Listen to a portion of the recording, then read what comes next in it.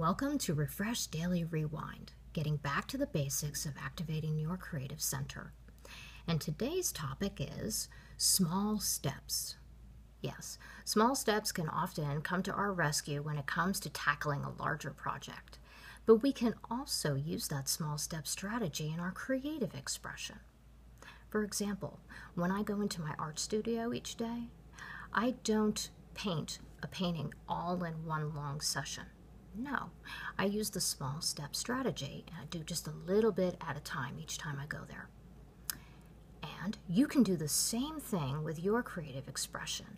So get out your journal and write down all the small steps that you would need to take in order to accomplish that creative project.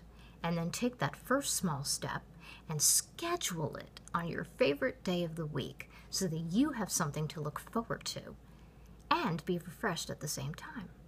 See, it's that cumulative effect of small steps that creates our creative journey. And that's the part that we really want to enjoy as much as possible. You can also use the small step strategy in your art journaling practice by doing one small thing at a time. You can contact me direct at refreshwithdawnherring at gmail.com, and you can also join us on our Journal Chat Live Facebook group and share your small steps there. Thanks so much for watching. Have a fabulous day, and don't forget to refresh yourself.